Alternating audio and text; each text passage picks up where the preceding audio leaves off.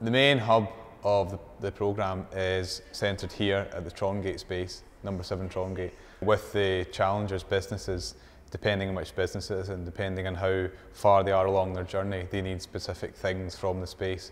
And the way we've designed it is to be easily changeable and adaptable to meet the needs of the challengers at that time.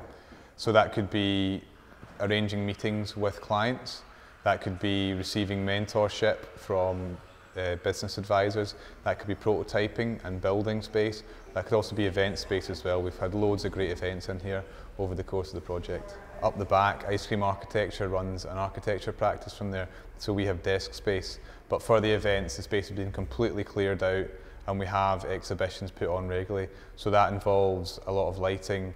Uh, we have projectors set up, we have performances ongoing here. So it's really, it's really a dynamic, flexible space.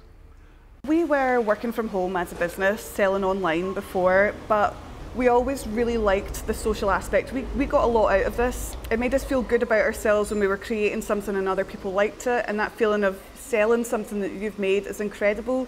And it made us a lot more confident in ourselves, and we really wanted to pass that feeling on to other people. It's been really good to see how the challengers have really taken ownership over the project and the space. Some great artwork's been put up on the wall. We've had the um, painted piano there. Uh, and it's really great to see how they've just grabbed hold of that and made it their own.